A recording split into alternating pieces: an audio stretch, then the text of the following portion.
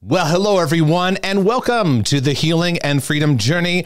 I am Mark DeJesus, your brother from another mother, bringing you insights along this journey. I'm all about mental, emotional, and yes, relationship health. And if you are too, then you've come to a great place. Let's talk about intrusive thoughts. I've documented a lot of this in my book, The OCD Healing Journey, which is available now. But today, what I want to do is I want to talk about four things that you need to know when it comes to your intrusive thoughts you're having. These are good reminders. Again, I go much deeper into the nuts and bolts of the journey.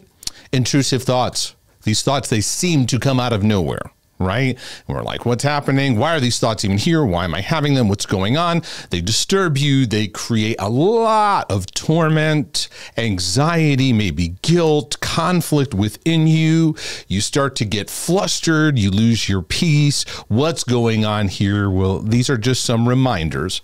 I want to help you as your brother from another mother to help you navigate this because without some perspective, these thoughts that feel like crazy thoughts can get us all squirrely inside, and we can really go down some really discouraging and depressing and panic fear ridden areas. So these are just some reminders for you. Again, I want to encourage you to get a copy of the book. I'm also teaching on this book in the, uh, the I'm sorry, the Healing and Freedom community. I'm teaching on the OCD healing journey. You can check out that link right there, markdejesus.com community if you want to go deeper, but you're going to get some great stuff right here. First thing I want to remember, remind you of is when it comes to these intrusive thoughts, they target your values.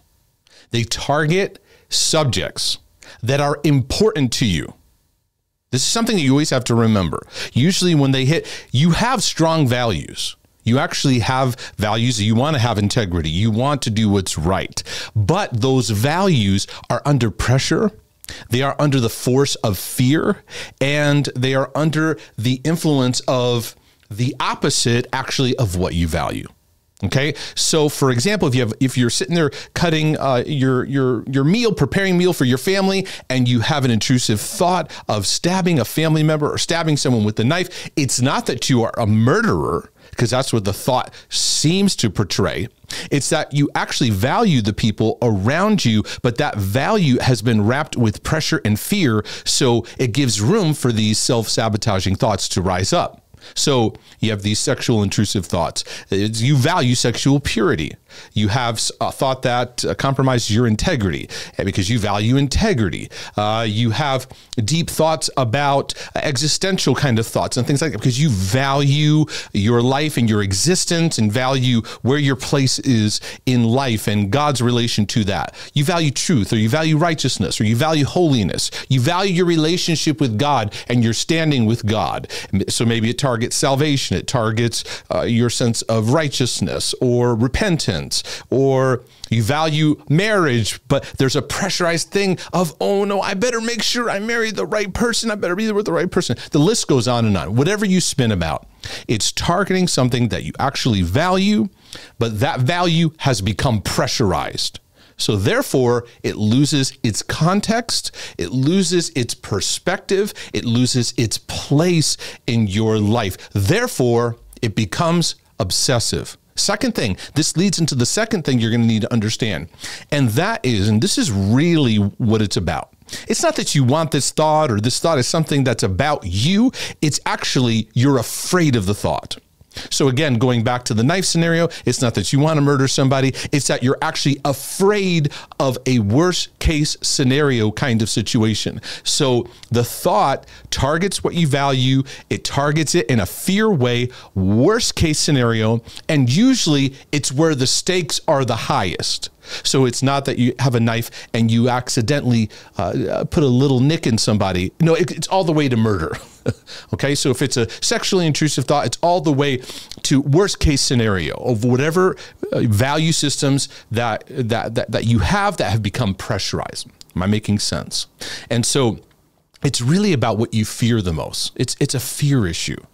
And it's worst case scenarios. So we end up feeding what we fear we, we, we feed it by compulsively avoiding it. I, I don't want to get anywhere near that kind of situation because then that thought's going to rise up.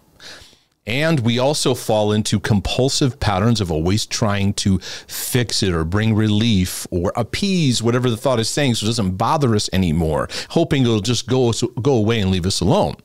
A lot of it brings out our punishment based relationship with God, a punishment based relationship we have with ourselves, and even our perfectionistic pressure, very consequence driven life.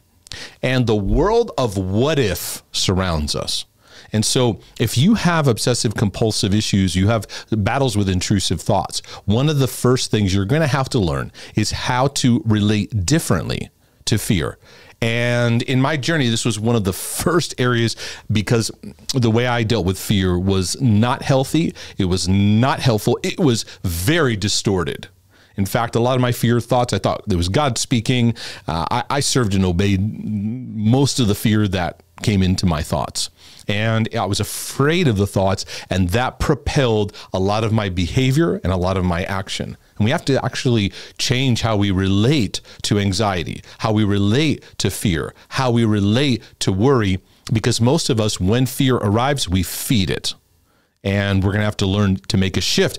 And these intrusive thoughts are telling us we're going to have to learn how to no longer be afraid of this thought because fear is what inflames the thought and makes it bigger. And then we run and hide, and God, take the thought away. Why won't these thoughts go away? And that's not the approach. We actually have to move through them and not feeding the fear. And this takes practice. So you have to remember it's really about these thoughts target what frightens you. It tar- targets disturbance at a high level, worst case scenario where the stakes are high.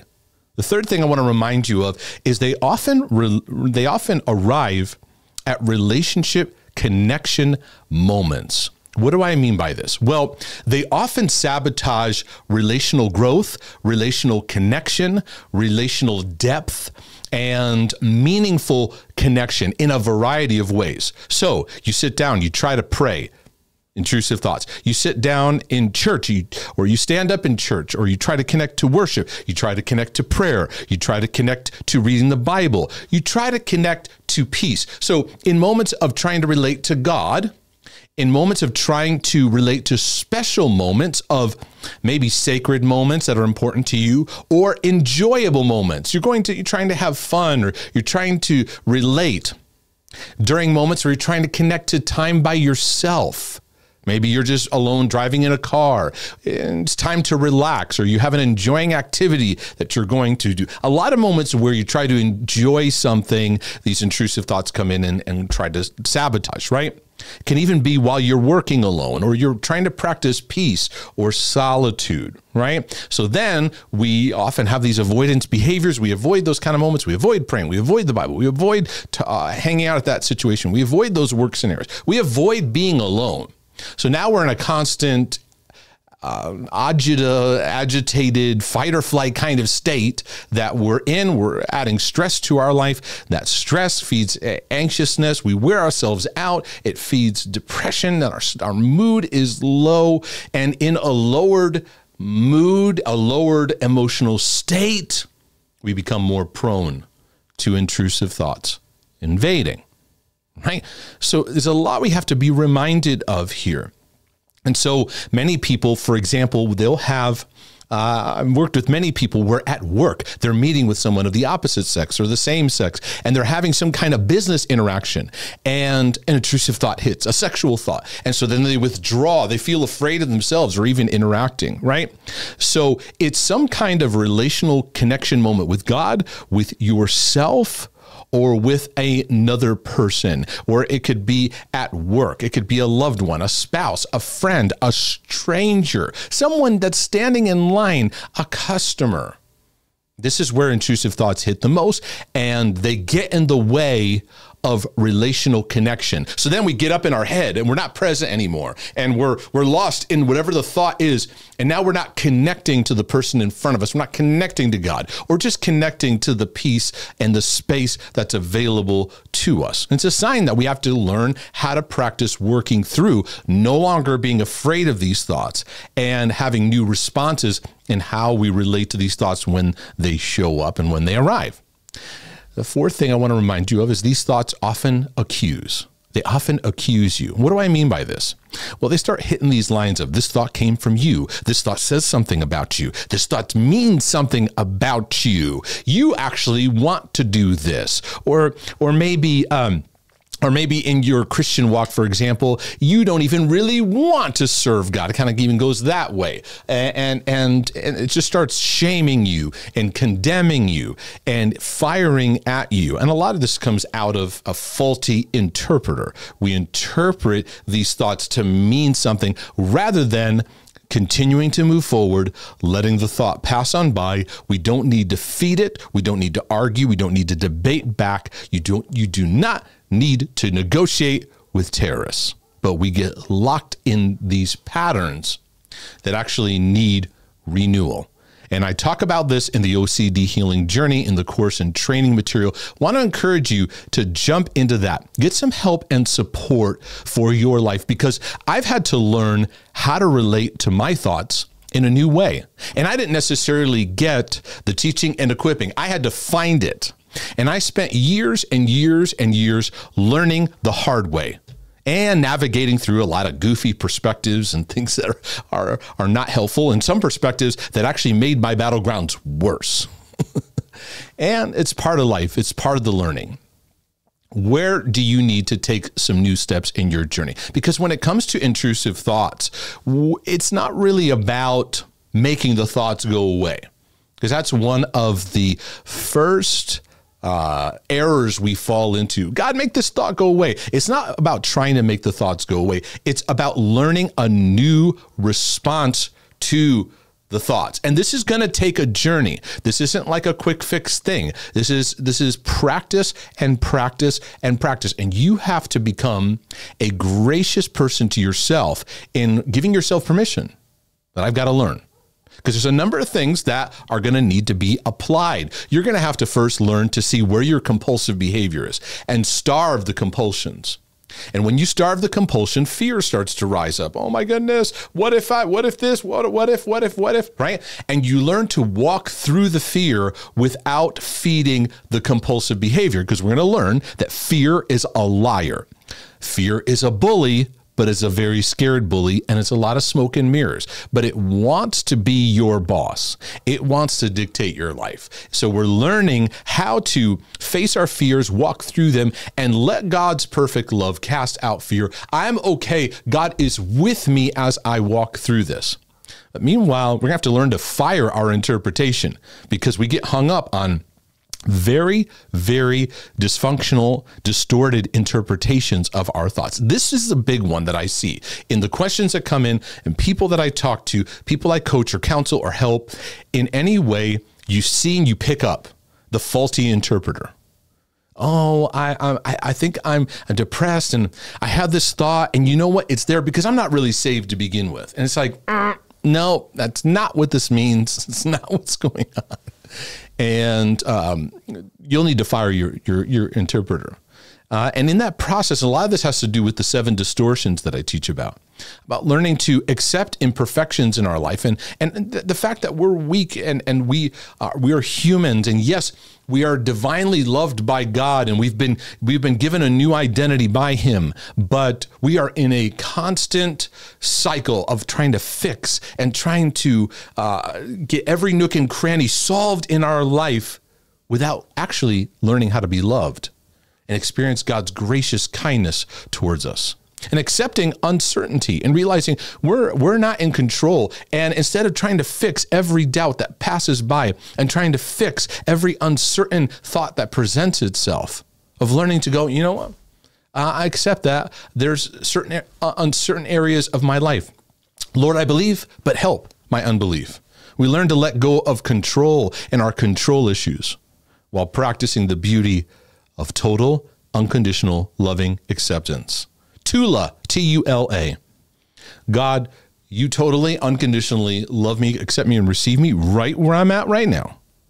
And now I can walk with you in that, and I'm going to grow, heal, mature, and overcome in relationship with you. Because OCDers are always trying to fix themselves from a distance. Mm-mm. God wants to connect with you, and in relationship is how we are changed. We're changed through His love, and we're chronically trying to change ourselves to then be loved. And so instead of going, God, take these thoughts away, make these thoughts go away, I'm a big shift happened in my life. I learned to let the overcomer rise up in me. Instead of God rescue me, take this away, get me out of here, I'm going to learn. I'm going to learn what I'm what I need to learn to practice to face this, to overcome this. And I'm going to help others with what I learn.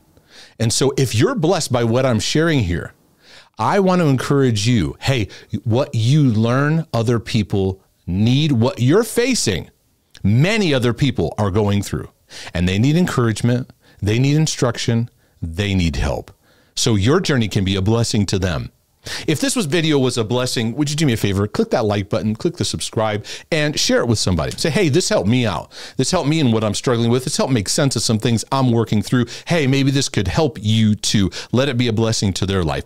If it's a blessing, would you also consider supporting these videos by a one-time donation, or you can become a monthly supporter? You can also get uh, copies of my books and materials. Of course, the OCD Healing Journey is available as well. There are topics you can look up. There's also a free OCD help page markdejesus.com forward slash OCD help. It lays out the videos I've presented that are on this subject. I just want to be a blessing to your life because I'm your brother from another mother.